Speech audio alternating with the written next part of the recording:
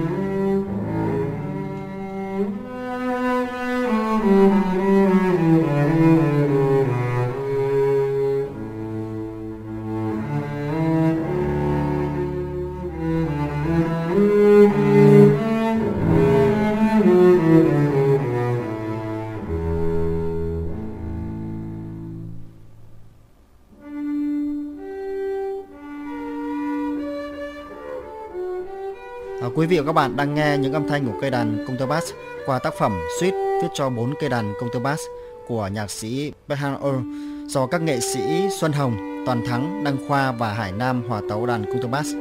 À, đây là một trong những tác phẩm mà chúng tôi đã thu thanh trực tiếp trong một chương trình biểu diễn hàng tháng của các nghệ sĩ tại phòng hòa nhạc của dàn nhạc giao hưởng quốc gia Việt Nam.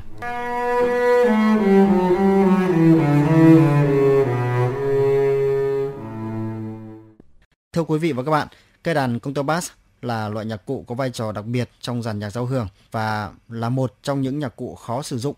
Đây là nhạc cụ thuộc bộ dây nên người nhạc công khi diễn tấu phải dùng một thanh gỗ tròn dài có đầu cong mắc lông đuôi ngựa hoặc làm bằng hợp chất nhân tạo để tăng độ ma sát, à, thường gọi là vĩ đàn, đặt ngang với dây đàn và kéo để phát ra âm thanh. À, cũng có khi người nhạc công sử dụng ngón tay để gảy vào dây đàn à, tạo ra những âm thanh đặc trưng gọi là pick hoặc một số những kỹ thuật khác. Đàn contrabass có chiều dài là khoảng 190 cm, rộng 60 cm, cùng với chiếc ắc xe dày hơn, rộng hơn, nặng hơn nhưng cũng ngắn hơn so với các loại ắc xe dùng cho các nhạc cụ khác trong bộ dây. Đàn contrabass có 4 dây xếp theo thứ tự từ trầm đến cao như sau: dây mi, dây la, dây re và dây son. Những âm thanh thật vang lên của đàn contrabass bao giờ cũng thấp hơn nốt viết một quãng 8 vì à, không viết đúng cao độ của âm thanh để tránh việc phải dùng nhiều các dòng kẻ phụ và khóa chính của đàn contrabass là khóa pha. Âm thanh của cây đàn contrabass rất khác so với âm thanh của các à, loại nhạc cụ đàn dây khác. Các dây cao nghe hơi câm, mang màu sắc của giọng mũi, các dây trầm nghe mờ, không rõ, nhất là trong những đoạn nhạc chạy nhanh. Tiếng đàn contrabass nói chung nghe hơi thô, rè và tạo cảm giác nặng nề. Thưa quý vị và các bạn, để hiểu rõ thêm về những tính năng ưu việt và một số kỹ thuật ưa dùng của cây đàn contrabass, chúng ta sẽ cùng gặp gỡ với nghệ sĩ đàn contrabass Quyết Thắng và nghệ sĩ Ngô Đăng Khoa, hiện nay đang là giảng viên khoa dây của Học viện âm nhạc quốc gia Việt Nam. Xin chào nghệ sĩ Quyết Thắng và nghệ sĩ Ngô Đăng Khoa. À, trong chương trình hôm nay thì à, xin nghệ sĩ à, có thể giới thiệu về hình dáng cấu tạo và một số những cái tính năng ưu việt của cây đàn contrabass với các quý vị thính giả đang nghe chương trình. Thì đến nay cũng là à, hơn 30 năm giảng dạy thì tôi cũng xin nói qua về contrabass. Nó là một cây đàn dùng ở trong dàn nhạc giao hưởng và có rất nhiều cái đặc tính. Thứ nhất, như các bạn biết là nó rất là to, rất là lớn, cồng cành và âm trầm của nó thì là cực kỳ trầm ở trong cái dàn nhạc nó bắt thường đứng ở trong góc khuất mà chúng tôi thường đùa với nhau là cây đàn thường nằm trong góc khuất thế và cái điều đó đã càng làm chúng tôi cần phải có một cái sự duy trì cần phải có một cái sự phấn đấu để làm sao vẫn có thể vọng lên những cái tiếng đàn trầm đó để đóng góp vào âm nhạc giao hưởng, duy trì những cái bản nhạc gọi là nền văn hóa, văn minh của nhân loại. Thế ngoài ra thì contrabass còn rất nhiều cái chức năng phụ khác, thí dụ như đánh trong rất nhiều các cái dàn nhạc. Có thể là dàn nhạc đồng quê hoặc những cái dàn nhạc à, jazz. Trong trường nhạc chúng tôi nhiều khi kết hợp giữa cái âm thanh của những cái đàn dân tộc, người ta vẫn sử dụng cái tiếng trầm của contrabass bởi vì nó là cái tiếng rất là đặc thù. Nó tạo nên một cái nền dày đặc cả phía dưới và trên đó là những cái âm thanh hoành tráng của những cái nhạc cụ khác thế mà trong dàn nhạc thì violon là cao nhất và contrabass là thấp nhất, đứng về bộ dây. Anh nói rộng ra tức là cái ngôn ngữ âm nhạc thì cây đàn nào nó cũng như nhau, chúng tôi đều có một cái nét chung ở trong cái bộ dây. Ví dụ như là nó có diễn tả các cái ngôn ngữ khác nhau về mặt sắc thái cũng như về mặt âm sắc. Ví dụ như nó có thể nhại tiếng guitar, nhại tiếng kèn nhại tiếng của kèn hơi, hoặc nó có những cái tiếng bồi âm để nhại những cái âm thanh ảo của các cái nhạc cụ cao. Đấy, gọi là harmony hoặc nó có những cái cú gọi là cú đắc xê tức là cái cú vĩ gảy. Thí dụ như là delta c là những cái cú kéo dài và thẳng và tiếng đàn nó dày dặn. Hoặc những tiếng mắc tê lê là những tiếng vừa dài vừa đầy đặn. Là chúng tôi lại dùng tay để để búng để tạo nên những cái tiếng như tiếng chống cơm hoặc những tiếng như trong những cái tiếng nó nhại mô phỏng cái tiếng là bongo ở trong cái, cái các cái dàn trống của trung Mỹ Latin để dùng cái tiếng pick và cái tiếng pick này được dùng nhiều ở trong những cái cái dàn nhạc dân tộc hoặc là những dàn nhạc đồng quê hoặc là những dàn nhạc jazz hoặc những dàn nhạc nhẹ thì cái tiếng pick này nó nó nó tạo nên cái hiệu quả về âm thanh và đồng thời nó là cái tiếng để giữ ở những cái âm âm đầu nhịp tạo cho cái cảm xúc của người nghe có thêm cái hứng khởi khi nghe những cái bản nhạc mà nó có những cái tiếng pick ở đầu tăng thì là chúng tôi thường giữ cái trách nhiệm đó. Vâng, bây giờ chúng ta sẽ cùng à, nghe nghệ sĩ Ngô Đăng Khoa thể hiện kỹ thuật này ở đàn công tơ bass.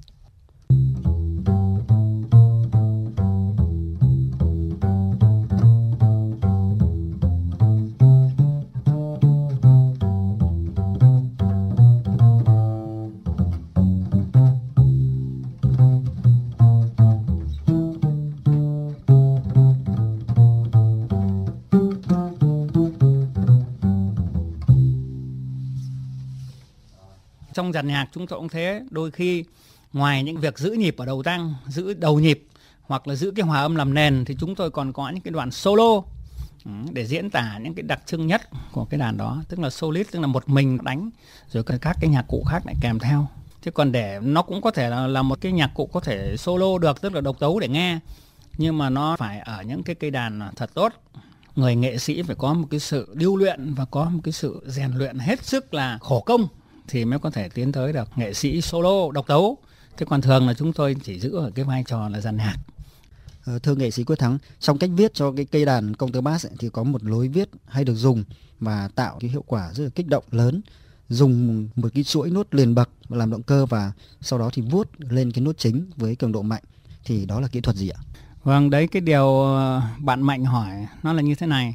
Chính nó là cái kỹ thuật mà tiếng Việt ra ta gọi là vuốt âm tức là ở cái tiếng chuyên môn thì ta gọi là glissando.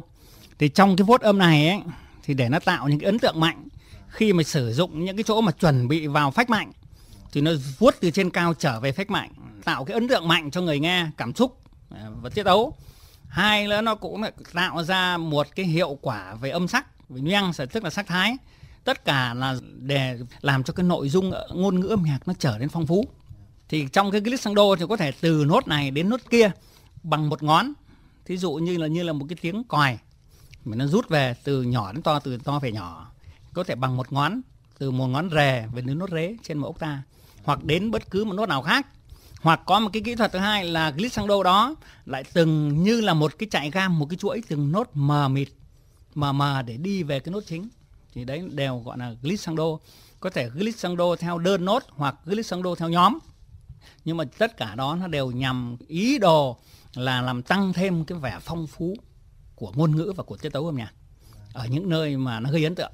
Vâng và bây giờ quý vị và các bạn cũng sẽ cùng nghe nghệ sĩ Ngô Đăng Khoa thể hiện cái kỹ thuật glissando trong à, cách viết cho cây đàn counterbass.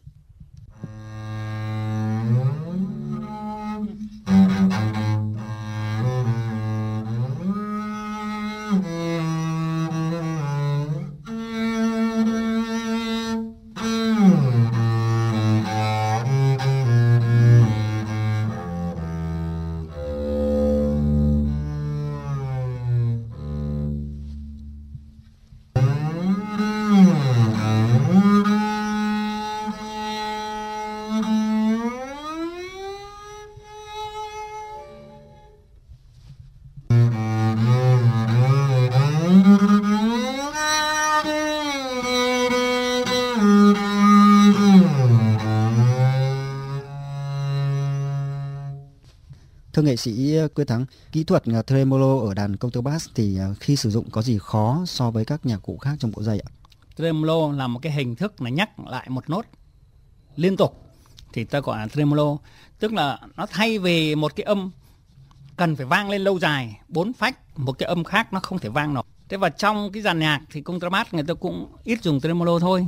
Bởi vì thực ra thì cái tính năng nhạc cụ mà contrabass là nó đục và nó thô thường là như vậy, thường diễn tả cái gì đục và thô, thì cái tremolo này người ta kéo dài nó ra. Và trên cái nền kéo dài đó ra, nó lại, từ cái ý đồ đấy thì nó hình thành một cái phong cách biểu diễn chỉ có tremolo và dưới đi bài trầm. Để chỉ tục để mà làm nền cho nó, thì đấy là một tremolo thì trong cái nhạc cụ nào nó cũng có kỹ thuật này hết. Nhưng mỗi một nhạc cụ, nó lại sử dụng theo cái cách riêng của nó, theo cái sở trường, theo cái đặc thù, theo cái cái đòi hỏi riêng của nó. Đấy.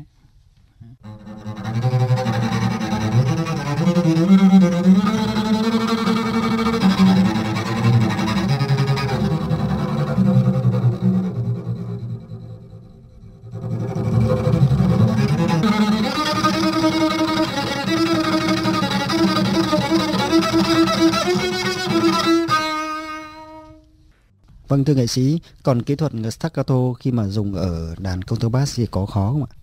Staccato thì nó cũng là một kỹ thuật, người nghệ sĩ thì làm thế nào tạo được cái âm thanh nó ngắn và nó cọc thì tôi gọi là staccato. Nó còn cũng staccato này thì nó cũng chia ra nhiều cái mức độ khác nhau. Staccato dài, staccato ngắn thế hoặc hơn một tí nó gọi là sốt chê tức là nảy lên ác lên hẳn khỏi cái dây Đấy, chứ nó không còn giữ bịt cái dây khi mà ác nó còn nằm ở trong cái dây đấy mà nó phải nảy lên ta gọi là sốt chê tức là nảy lên cũng staccato nhưng mà nảy luôn thì tạo những âm nó còn ngắn hơn nhưng mà trong cái staccato này khó nhất của nó là làm sao nó vẫn có ngắt mà nó vẫn có cái tròn đầy của nó. Chứ nó không bị mất âm. Thưa nghệ sĩ quyết thắng trong một số tác phẩm thì à, có những nhạc công mà dùng cái phần gỗ của cây vĩ đàn và đập lên dây đàn thì đó là kỹ thuật gì ạ? À, cái mà bạn mạnh hỏi thì nó nằm ở trong cái ta gọi là kỹ thuật công lê nhô. Tức là không dùng cái phần ờ, những cái dây nhỏ ờ, sợi ni lông nhỏ mà ta dùng đánh vào cái phần gỗ của cái cây fc có cây vĩ đàn đấy. Cái kỹ thuật này ngày xưa thì cổ điển thì rất ít dùng. Gần đây nó đương đại nó dùng. Tức là từ các nhạc sĩ đương đại Prokofiev rồi đến một số Frank rồi đến Besten chẳng hạn. Thế còn đến hiện đại thì dùng rất nhiều thí dụ như ngay ở ta cũng có một số nhạc sĩ như là Nguyễn Thiện Đạo nó dùng rất nhiều. Trong những cái ca kịch hoặc trong những cái tiểu phẩm nhỏ của của ông Nguyễn Thiện Đạo là nhạc sĩ Việt Nam mà rất nổi tiếng thì dùng rất nhiều cái kỹ thuật công lê nhô, tức là dùng sống của ác để đánh vào. Nó cũng tạo nên những cái âm thanh khô và lạnh và tạo nên một cái vắng lặng, một cái hoang sơ, một cái gì rất là nguyên thủy thì người ta dùng cái kỹ thuật này. Để đôi khi nó còn miêu tả rất là nhiều những cái tiếng động của đời sống hàng ngày đấy vì thế cho nên chính vì thế cái lẽ đó mà cái nhạc hiện đại người ta hay dùng cho nó khác hẳn với cái đặc thù của cái nhạc tiền cổ điển, tức là nhạc chỉ dùng âm thanh, đơn thuần và đẹp, tròn và vang, mềm nhưng bây giờ đời sống hiện đại thì người ta dùng tất cả những kỹ thuật nào mà mà có từ cuộc sống người ta có thể mô phỏng, người ta, người nghệ sĩ có thể đưa vào trong cây đàn được, người ta đều dùng cả trong đó có Colenio. Vâng và bây giờ mời quý vị và các bạn sẽ nghe nghệ sĩ Ngô Đăng Khoa thể hiện kỹ thuật này.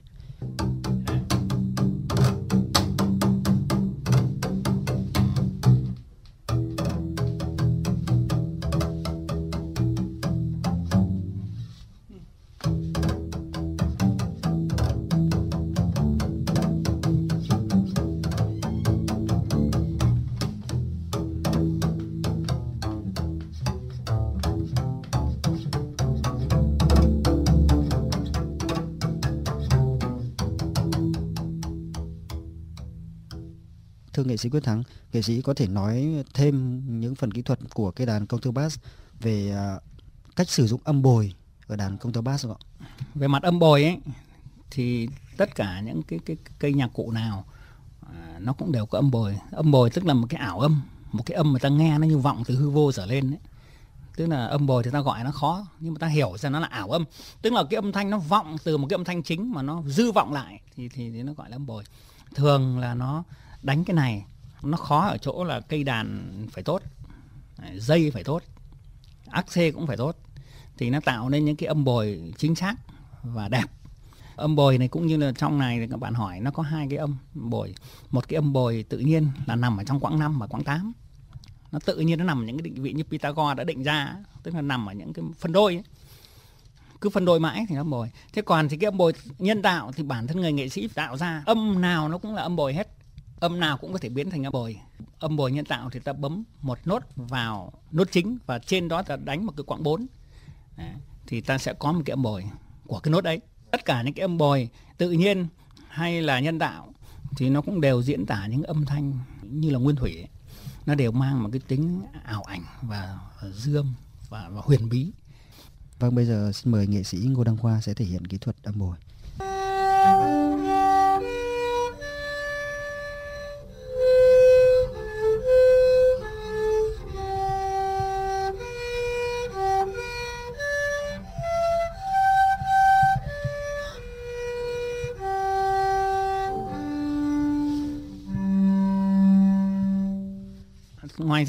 Còn một cái kỹ thuật nữa, tức là ta gọi là lái rèn. Ở tiếng chuyên môn nó gọi là tri. Tiếng việt thì ta gọi là lái rèn. Tức là cũng một âm thanh đó mà dùng một ngón bấm và một ngón không dùng đến ác C để tạo thành một cái đầu tiếng nữa. Mà dùng một cái ngón tay bên trái vừa bấm lại vừa bỏ, thì âm thanh nó sẽ liền. Nó như là một chuỗi liền nhau, như nó nằm một chỗ. Chứ nếu cái đó mà nó lại cứ cao dần cao dần thì nó lại gần như là vuốt. Thế như đây là âm thanh nó nằm một chỗ và lấy ngón, bấm vào ngón bổ. Thì nó phát ra, nhưng nó không cho rõ cái đầu tiếng. Tôi còn thông thường nốt này đến nốt kia là ta phải có cái đầu tiếng, tức là ta gọi là cái attack. Tức là đầu tiếng, như đây là cái đầu tiếng nó mờ đi. Vì thế ta gọi là lái rèn. Tức là liên tục nó như là một cái sự dao động, gọi là đàn hồi ấy. thì đấy là tri